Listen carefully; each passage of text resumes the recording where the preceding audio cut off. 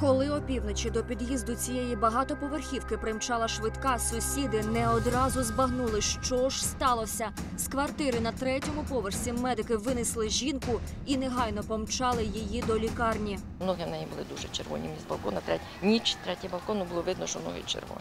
Я ще думала, що в жінки якась кровотеча чи що. А то червоніли страшні опіки. На бідоласі буквально не було живого місця. Жінка з опіками близько 80% поверхні тіла е, поступила в реанімаційне відділення, проводилось е, охолодження, противошокові мероприємства, і руки, і ноги, і тулуб, і е, голова, обличчя. Тобто 80% вражень.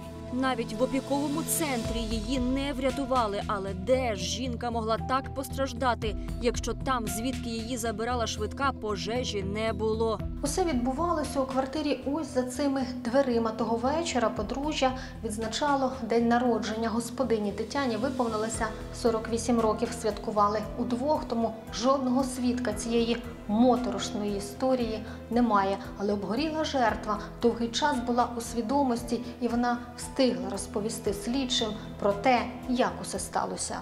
Це не вкладається в голові, але Тетяна встигла сказати, що її в день народження навмисно підпалив її ж чоловік. Вказала е, деякі подробиці і вказала про ймовірну причетність до даної події свого чоловіка. Як чоловік облив її спиртом та підпалив. Версія слідства є, що е, дана подія трапилася на ґрунті ревнощів.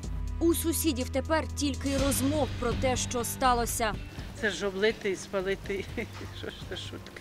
Біда, велика біда, таке неприємності. Люди шоковані, тому що на що такого фактично не було. Розповідають, подружжя жило скромно. Кілька років тому в них трагічно загинула старша дочка, а молодшій Ользі лише 19. Олександр їздив на заробітки, а Тетяна не мала постійної роботи. Пара вони не ідеальна. Вони до цього вже щось не мирилися. Вони були розійшлися, потім знов зійшлися. Вона не конфлікт, а він теж здрасті і на цьому все. А з- між людьми, між сусідами, а в себе в сім'ї це таке. Квартира, де Олександр нібито підпалив Тетяну, нині зачинена. Та надзвичайним новинам вдалося розшукати близьку до сім'ї людину. Максим добре знає подружжя, бо зустрічається з їхньою дочкою і запевняє, провини Олександра немає. Це нещасний випадок стався. На кухні на холодильнику стояв, холодильник невеликий. Може зацепився і вилився. Переноска була на кухні, вона перецепилася, впала. Походу е, проводка коротнула і загоріла.